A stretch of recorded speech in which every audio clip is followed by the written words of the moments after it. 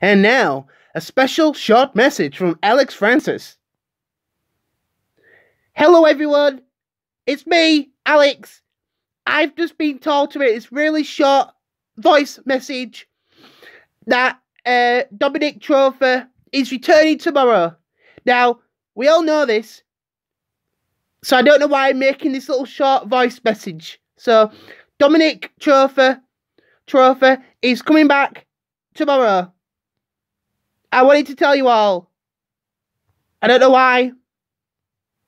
I uh, I don't know why. I was told by the producers of the, the, the DT group that I've got to make a short message. So, Dominic Trofa is returning tomorrow. Uh, look forward to his next on screen appearance tomorrow. Thank you.